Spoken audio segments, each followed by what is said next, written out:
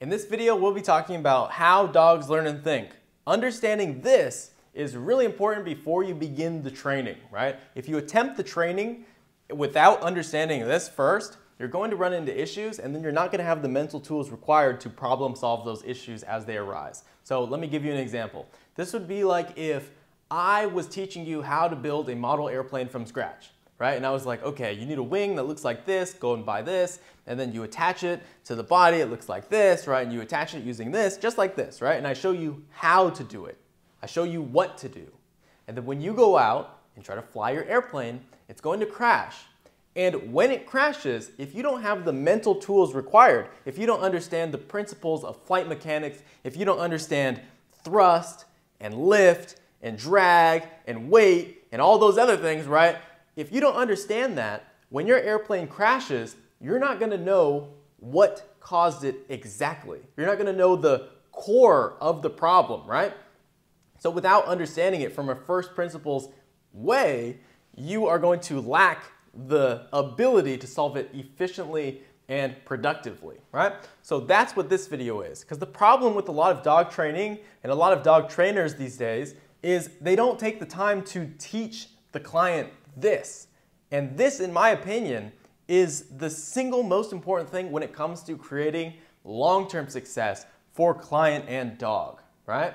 And that's because there will be a point in your life with your dog where your dog is exhibiting behaviors, problem behaviors, you want to teach them new behaviors, right? They're doing something you don't quite understand it. And if you don't have the mental tools, the mental frameworks to work within and visualize it properly, when you go to solve the problem, it may not be the most effective way of solving it, right? So that's what this video is. It's meant to teach you the theory, the foundation behind how dogs learn and think. So when you go through the training, it makes sense, okay? All right, so we have a little agenda going on here. So the first thing we're gonna talk about is classical conditioning. We're gonna talk about operant conditioning, the three-term contingency, genetics, and learned behaviors. So we got a lot to cover. Let's just jump right into it. So the first thing we'll talk about is classical conditioning. So what is classical conditioning? If you guys took a psych class in college, you may remember this, but there was this guy named Pavlov, okay? And he figured out that if he presented a dog with food, they would show the behavior of salivation. Right? They would begin to salivate, right? They present the dog with food, dog salivates. Food, salivates, right? And they didn't have to teach the dog this. This was already a conditioned behavioral response. This is the behavioral response here, okay? Now, what he figured out is if he took a bell something that wasn't conditioned, right? This had no meaning to the dog. When the dog heard the bell, the dog didn't do anything. Uh, this was a neutral stimulus, right? The bell. He figured out that if he took the bell and then presented the food a second later, the dog would begin to salivate, right?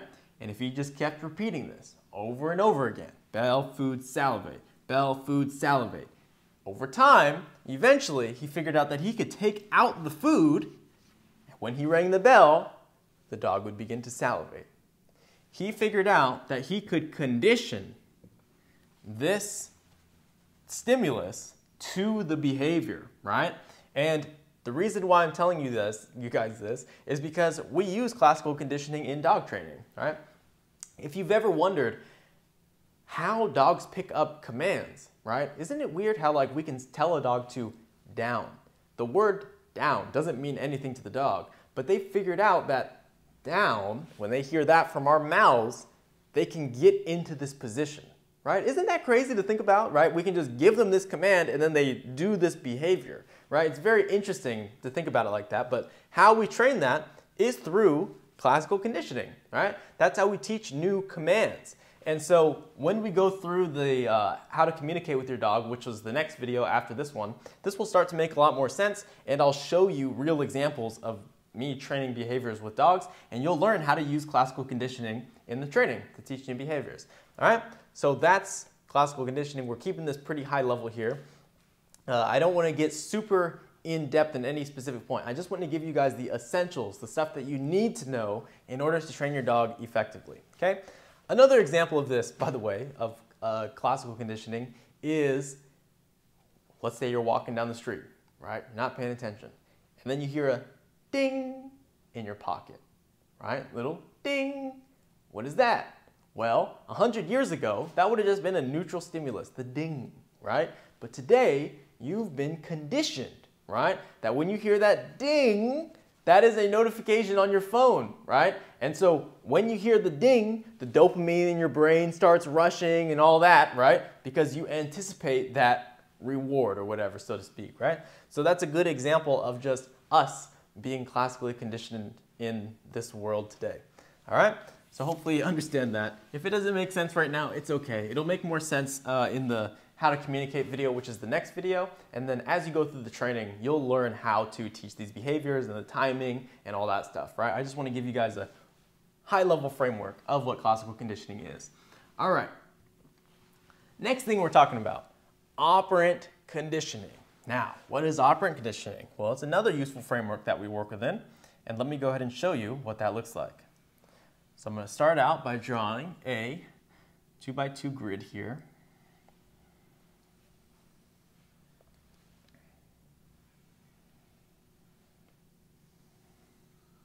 All right, and then on the top, we have reinforcement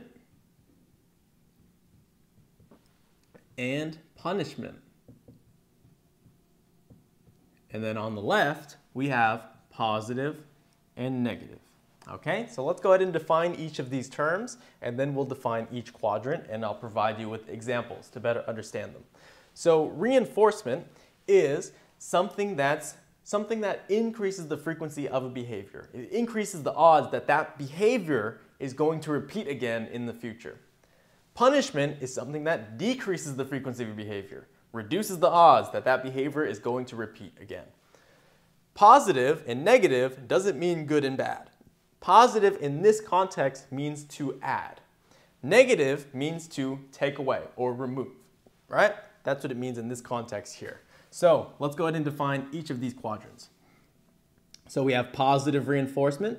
Something is added to increase the frequency of behavior. Positive punishment.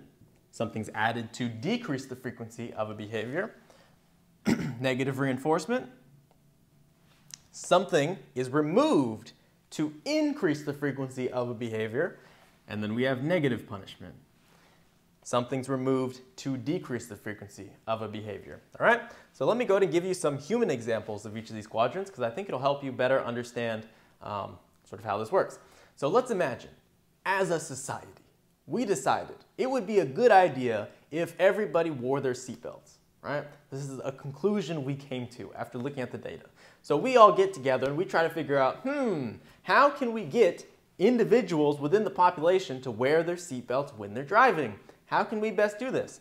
Well, one method would be positive reinforcement. You know, what if every time, you know, someone put on their seatbelt, we give them a dollar or something, right? Or something like this. Well, hmm, you know, that might work, you know. We reinforce the behavior, we add something, the money, to increase the frequency of the behavior, which is putting on the seatbelt. Hmm, that might work, right? But uh, that might be kind of expensive, okay? So that would be positive reinforcement in that, that situation there.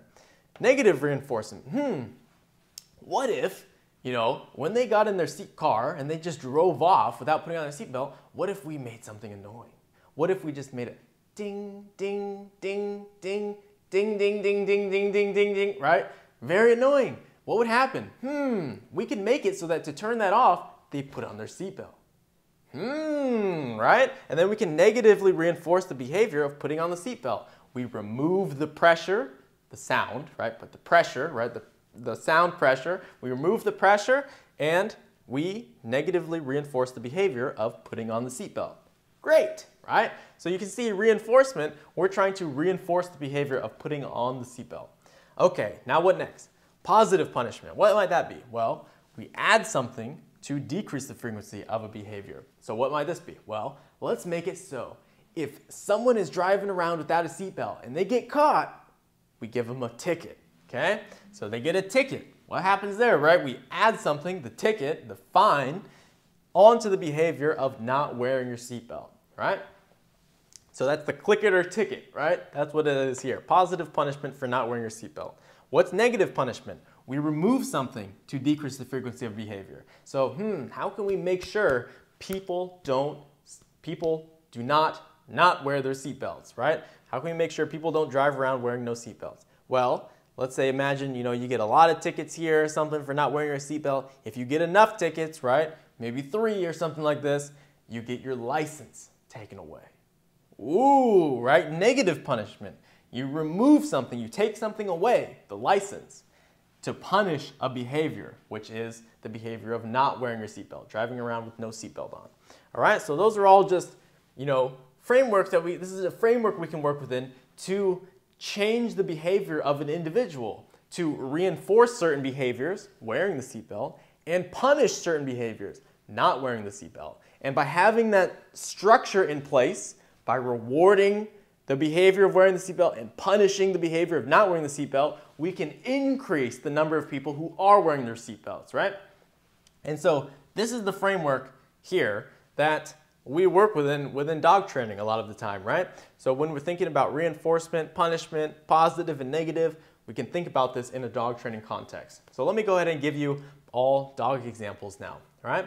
So positive reinforcement, positive, but first let me go ahead and do that. Before I do that, let me outline the three-term contingency because I think this will help you better visualize everything as I'm going through these quadrants, all right?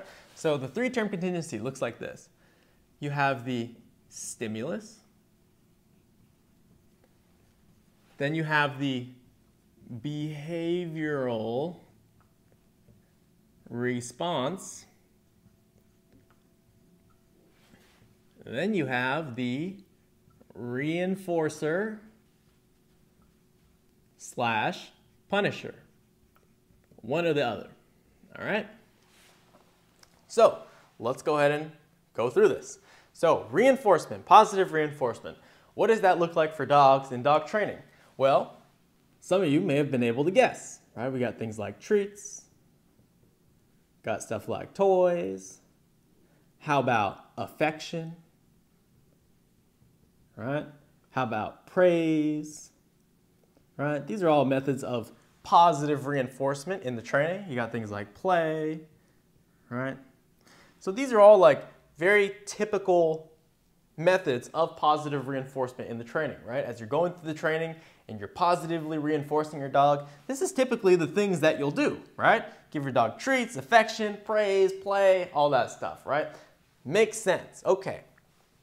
Now, what I want you to understand as we're working through these uh, quadrants here is your dog's source of positive reinforcement doesn't only come through you you're not the only source of reinforcement in their life, right? They can get positive reinforcement many other ways, right? And now I want you to start thinking about it. What does your dog like? What things does your dog find positively reinforcing that you aren't giving them to directly, right? Think about it. How about things like other dogs? How about things like people? How about things like swimming, right? Some dogs might not like swimming, but your dog might like swimming, right? So you have all these other things, right? How about the environment, right? Like how, how many of you have taken your dog to a new place and they got all these smells? You take them on a trail or something, right? And they're just like smelling around, going nuts, right? All this stuff, like all these crazy smells. You know, you got the environment, right? So you have all these other things that you can be competing with. How about this one? How about how about squirrels? Right? How about chasing squirrels, for example, right?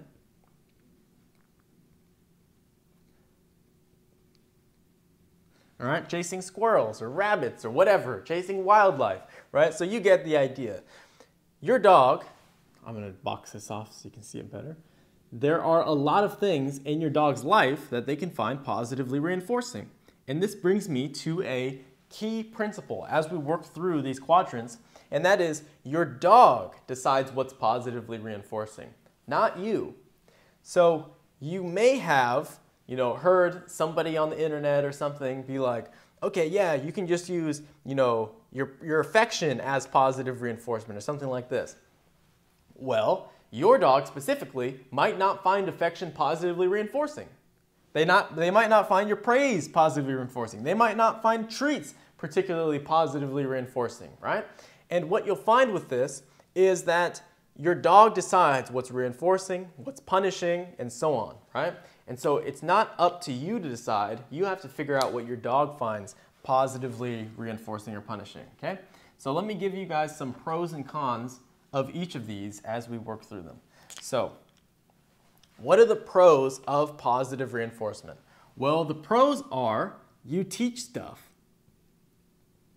So this is where all the teaching happens, right? When you're teaching things like the new behaviors, you're teaching the sits and the recalls, and you're teaching them, you know, whatever it is, this is where all the teaching happens. It's where you teach them new stuff, right? New behaviors. That's where it all happens here in positive reinforcement. So we use this a lot in the training.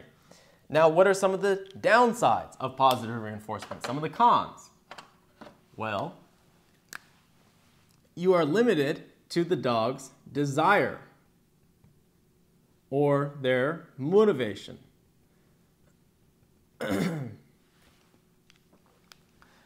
You're limited to the dog's desire or their motivation. Just another way of saying the same thing. So what does this mean? Well, you may have noticed before already, if you're in this program, that your dog usually finds, you know, he might find treats positively reinforcing in low distraction environments, but when he's around another dog, all the training falls apart when you run into competing motivators, right?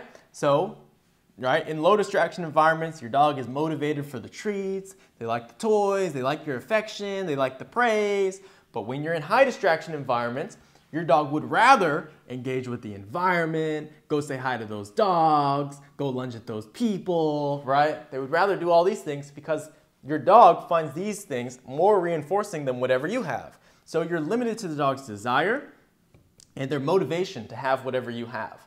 Right? So that's the downsides of positive reinforcement. That's the downside with positive reinforcement training in general. So if you guys have been in the dog training space at all, you've probably heard of a lot of positive only trainers or positive reinforcement only trainers, right? And this is just the fundamental limitations of working within only positive reinforcement is you can get pretty damn close to training your dog. I say about, you may have heard me say this before, but to have a fully reliable dog, it's about 80% motivation and 20% obligation right? And what's funny about this is this takes about, you know, this right here takes about 20% of the effort. And this right here takes about 80% of the effort. Right? So it's kind of funny how this works, but you can get pretty close to a trained dog. I'll say fully reliable you can get pretty close to a fully reliable trained dog with just positive reinforcement, right? You can get about 80% of the way there with just 20% of the effort, right? So it's a very, it's a really high ROI. But the hard part, the part where most people struggle with, the part where most people never get to, is a fully reliable dog. And that's where the last 20% of obligation comes in, and that's the hardest thing to work on. That's what requires 80% of the total training effort invested, requires the, is in the obligation side, right?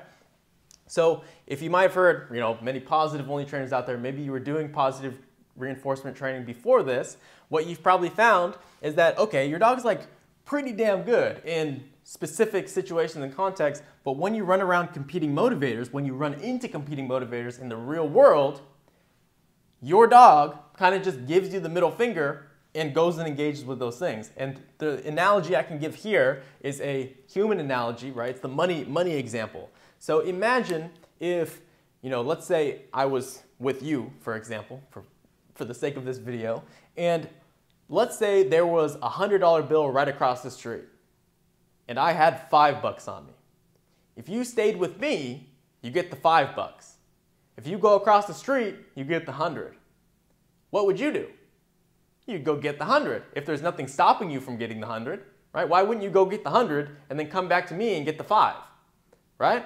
And so that's, in an analogy, that's the, the basis of the limitations of positive reinforcement only training is you're only working on the dog's motivation, you're limited to the dog's desire to have whatever you have and to have whatever, you know, is listed here, and you're basically hoping that they don't find these other things more reinforcing than whatever you have, right? So that's the basis, that's the limitations of positive reinforcement only training if you only work within this quadrant and you'll never get to the obligation side of things, right? The obligations where you teach the dog the concept of must. So even though there's the hundred bucks across the street, you can't get it. You can't. You have to stay with me. Even though I know you would like to, you have to stay with me, right? The concept of must, the obligation. That's when you are doing the recalls, for example. Your dog is chasing after a squirrel or something, they're playing with another dog, and you say, come, the dog understands they must come. Even if they would rather go chase that squirrel or go play with that dog, they must come.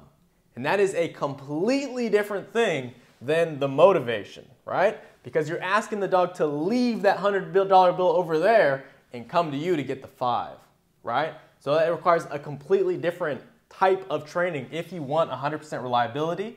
Um, this is also why you know you won't see positive only trained dogs walking around in off leash, high distraction environments, lots of competing motivators, right? Where do you see them? You see them in low distraction environments. They're the trainers do the best to manage the environment around them. They're in like these empty fields, empty trails, in their living room. This is why you see that, right? So now you understand sort of the pros, but also the limitations of just positive reinforcement training in general. All right, now let's move into negative reinforcement. Let's talk about that. So negative reinforcement is when you remove something to increase the frequency of a behavior. So let me give you some examples of what that looks like in dog training specifically and what you'll see in this training program.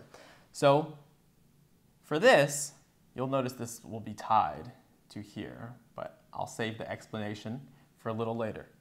So this is where you use things like leash pressure,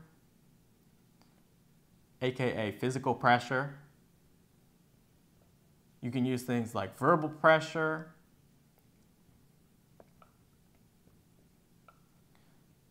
spatial pressure,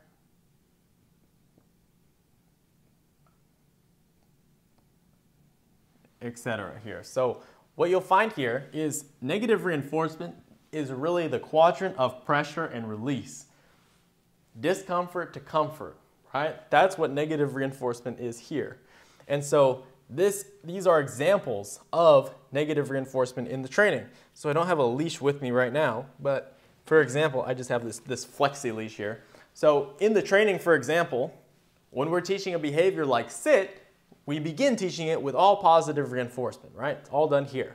And then once the dog understands it, then we start adding some leash pressure to it. So what do we do? We teach the dog that when they feel pressure upwards, when we pull up on the leash, it becomes uncomfortable, right?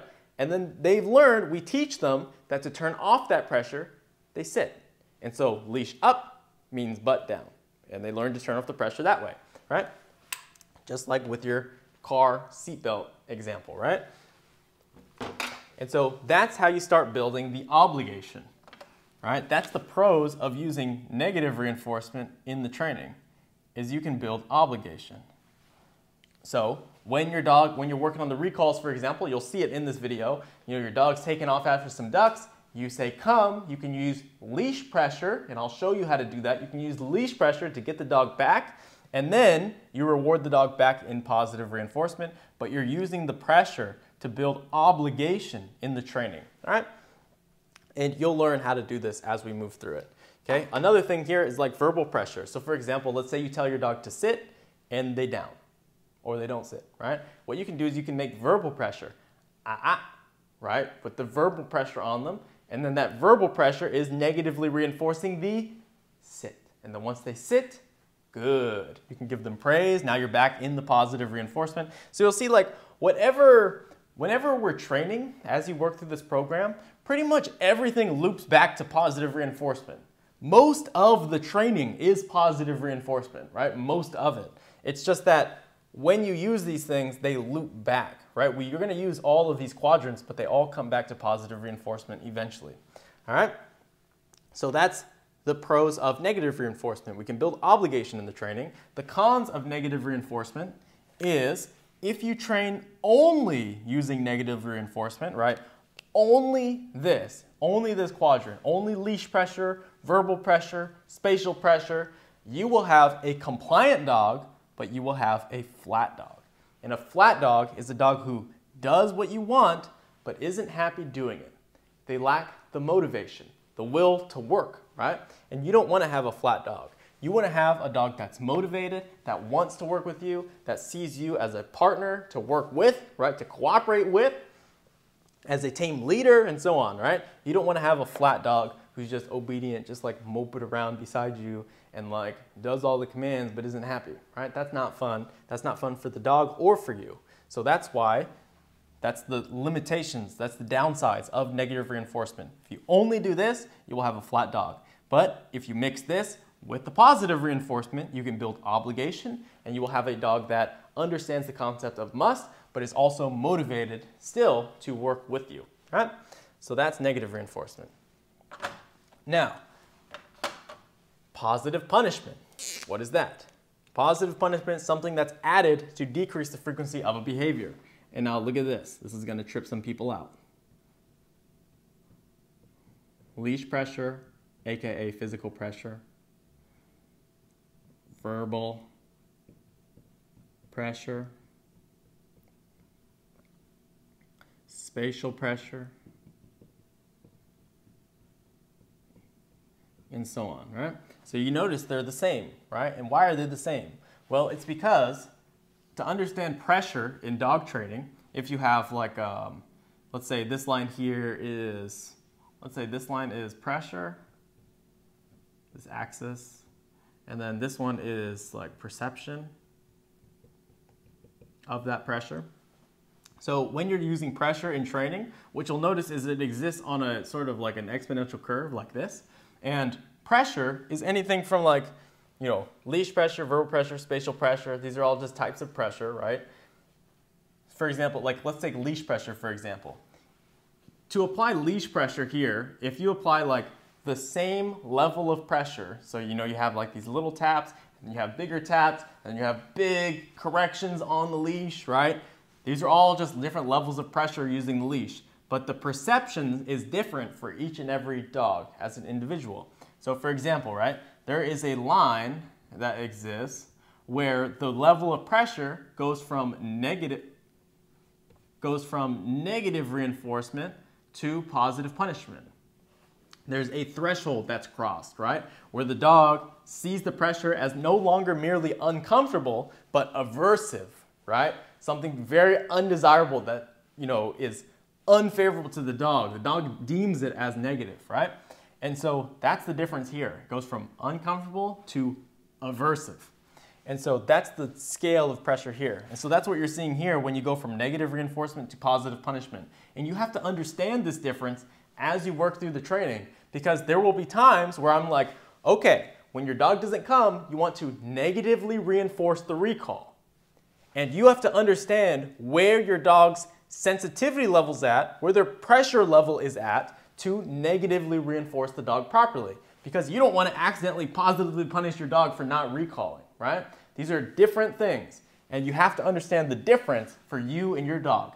As you work through the training, as you work with your dog, you will start to understand where their sensitivity levels lie, right? And that's up for you to do as a dog trainer, right?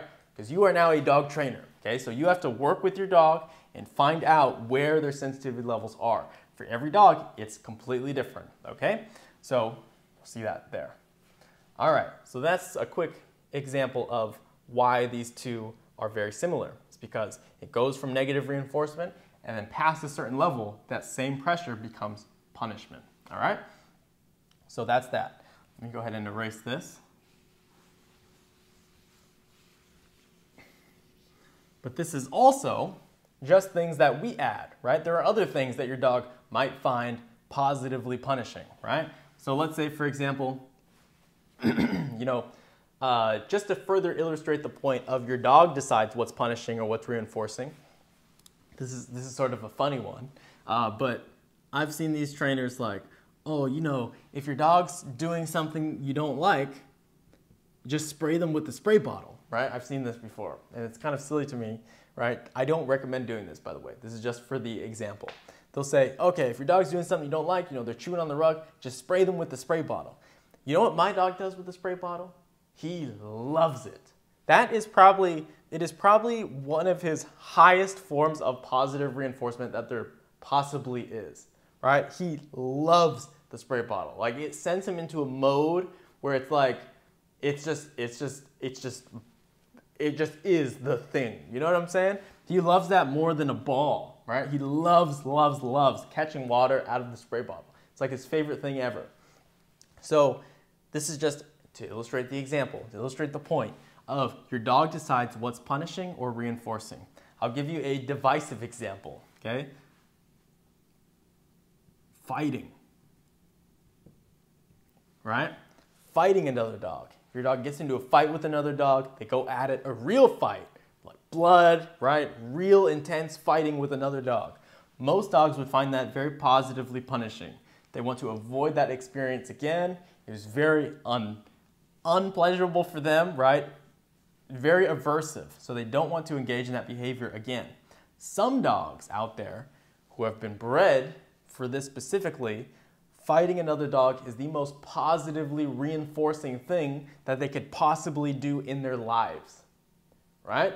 And so this is just to further illustrate the example, the differences in dogs and so on, right? So another example here, let's, let's do another one here. Let's think of some other ones. Uh, another example of negative reinforcement. Uh, let's get creative. Let's say, oh, here's a good example.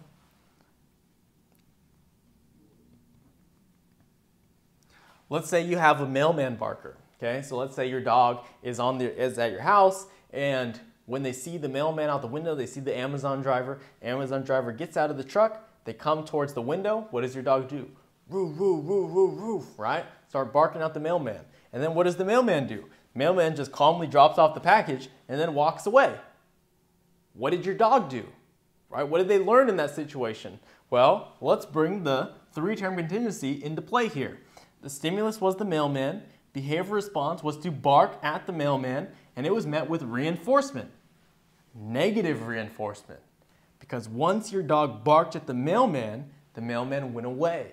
He was removed, right?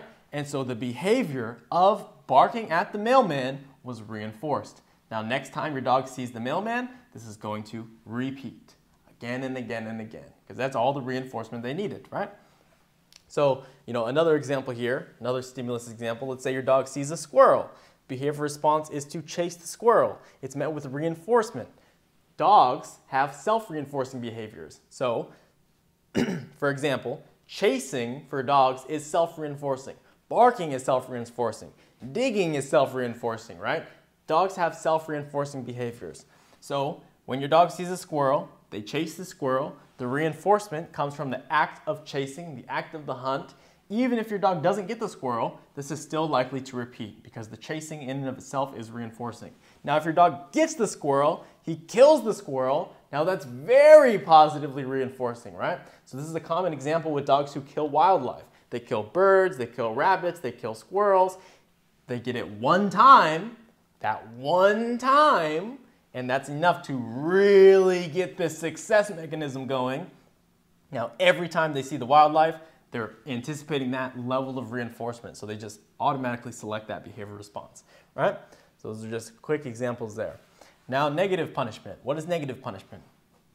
Negative punishment, typically in the context of dog training, is going to come as withholding. Right? So you're withholding something that the dog desires, or you're removing something. But we typically don't use this one in dog training specifically. We mostly use this one with kids, actually. So let me go ahead and give you what this is. So withholding. Let's say your dog desires the food in your hand. You tell your dog to go to their place. They don't go to their place. You negatively punish the behavior of not going to their place by withholding the food, the thing that they desire. And then, so you're negatively punishing that behavior. And then once they go to the place board, you reward them, now you're back in positive reinforcement, right? So you're withholding something they desire. Or you could be removing something desire. We don't typically use this in dog training because dogs aren't the best at bridging the gap between those two things. We use this a lot with kids. So let's say your kid does something that you don't like, you take something away from them that they desire. You take away, you can't play video games today, right? You can't go to your friend's house, whatever it is, right? You punish the behavior by removing something they desire. And so, what are some of the pros and cons of these punishment quadrants here? Well, pros are you can remove behaviors here. The cons are you can't teach anything. And I'll explain to you why down here in just a moment. Negative punishment. You can remove behaviors, but you're limited to the dog's desire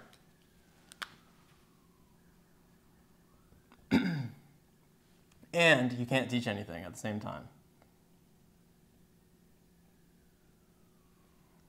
All right? So, example. Why is this the case? Well, when you are punishing behavior, let's go ahead and fall back to the three-term contingency here. Let's say, for example, you're trying to teach your dog not to chase cars. Okay, this is a common issue, especially in city areas, urban areas. This is very typical with herding breeds, especially, right? Stimulus, the car. Behavior response, to chase, lunge, and bark at the car. That is reinforcing for the dog. Not only is it positively reinforcing because they bark and lunge and chase and all that, but it's also negatively reinforcing because the car goes away. They chase that car off, right? And so you have all those things working together to reinforce the behavior of car chasing. So if you want to change this behavior, if you want to change your dog's behavior response towards cars, you are going to have to do a couple things. The first thing you're going to have to do is punish the behavior of car chasing specifically. Okay, so what this entails is using some sort of positive punishment to punish the behavior of the act of chasing, lunging, barking, all that stuff at cars. So I'll give you an example. When we were working on this with a corgi recently, the stimulus was the other cars, behavior response was to lunge at them and bark. We punish that behavior. And when you punish a behavior, a behavior like this, the punishment has to exceed the level of reinforcement that the dog gets from exhibiting this behavior response in response to the stimulus, right? So the punishment has to be greater than the reinforcement they get from this behavior. So, dog barked and lunged at the car. We said, no, big leash correction, right? We punished the behavior, this behavior response here. What did that do? Well, when you punish a behavior, all that does is create a hole, right? All you did was create a hole. Now, the dog doesn't know what to select as their behavior response, right? Because that behavior response that they used to select always led to a reinfor- always led to reinforcement. It was a productive outcome for the dog. Now we're switching things up. Now that same behavior response is leading to an undesirable outcome for the dog. So what do we have to do now? Well, we as owners, as dog trainers, have to fill this hole with a more productive behavior response, right? So in our case, we are filling the hole with things like neutrality, things like looking at the car, looking away, things like not even looking at the car as it went by, things like looking at the car, then looking at us, all of these things, right? Those were productive behavior responses, and that's what we're reinforcing with food, affection, and praise, right? And so we change the dog's pathway, his response towards the cars using this framework. Now, you have to do both. So another a common thing here, uh, I remember when we posted this video, it got a lot of comments like, why wouldn't you just teach your dog to, instead of punishing the dog for chasing the cars, why wouldn't you simply just teach them an alternate behavior, right? Why wouldn't you just teach them to sit and get the sit really good? And then why wouldn't you just gradually get closer and closer to the road, right? Why do you have to punish the dog? And the reason why we punish the behavior of chasing the cars is because we want him to know that not chasing cars is good and chasing cars is bad. It's that simple. If you don't punish the behavior of chasing the cars, the dog will not learn that chasing cars is bad. Chasing cars will still be good, right? It'll be the dog who takes your $5 and then goes and takes that $100, right? It's the same example. And so you have to have both. Chasing cars is bad, not chasing cars is good. Those two potential outcomes, right? But you have to punish that original behavior of car reactivity and then fill it with something that's more desirable, right? So you have to have both here. Um, it's the same framework for reactivity as well. All right, so that is operant conditioning. Hope this makes sense. I feel like it was kind of all over the place, but hopefully you were able to, you know, understand this framework. I'm sure I will remember later a lot of things that I should have said but didn't. It's okay though. You will fill the pieces as you go through this training program. Okay, and that's three-term contingency as well. Okay, so now let's briefly talk about genetics and learned behaviors. So genetics in dog training, what are they?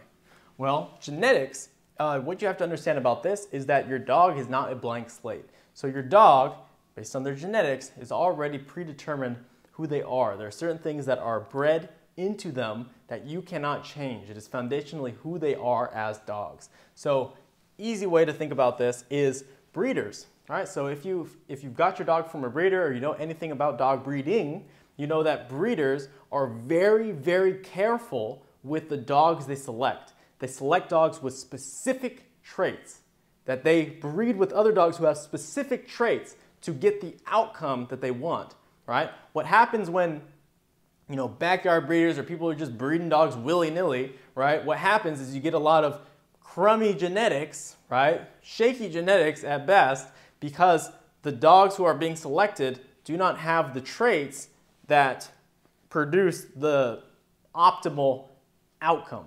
You know what I mean? So genetics in dogs is very important to understand that a lot of your dog is already genetic. So when they're exhibiting these behaviors like reactivity or what, what have you, right? Thresholds, drive, whatever it is, most of your dog is genetic. All right, so it's important to understand that. Now, learned behaviors. Learned behaviors are things that your dog learns a lot of times to, to cope with those genetic predispositions. So another example of genetics is the sociability levels of your dog. So how social your dog is, how outgoing they are towards other dogs and other people and so on right? That is a largely genetic component, right? When, if you talk to a dog breeder, for example, right? If you breed two antisocial dogs, the likelihood that you're gonna have antisocial puppies is very high, right? And so understanding all of this, the genetics of your dog, and then learned behaviors. Learned behaviors are ways your dog learns to cope with those genetic predispositions sometimes. They don't have to be, but oftentimes the dog is learning to cope with those genetic predispositions in various ways, right? So let's say your dog has uh, high drive, let's say low threshold, low environmental thresholds, um, you know, and so on. What's the likelihood they're going to be chasing squirrels and wildlife and all that? Probably relatively high, right? So you can understand this going forward. And if your dog learns behaviors like chasing squirrels is very reinforcing, well, now you have the frameworks to work within here, right? Let's say your dog is um, low, low environmental thresholds, uh, high reactivity just genetically, well now they're probably going to be exhibiting reactive behaviors from puppyhood onwards, right? You're probably going to see that start to manifest. Like for example, I have a border collie, very reactive, low environmental thresholds, high reactivity. So what did that look like? Well, as a puppy, he would be very attuned to things in the environment and anything that's out of the ordinary, he would freak him out a bit. So I'll give you an example. Today, still, when we walk around the park at night, for example, if there's like a coffee cup on a bench that's around this entire like half mile loop, there's just one coffee cup on this bench that isn't usually there, right?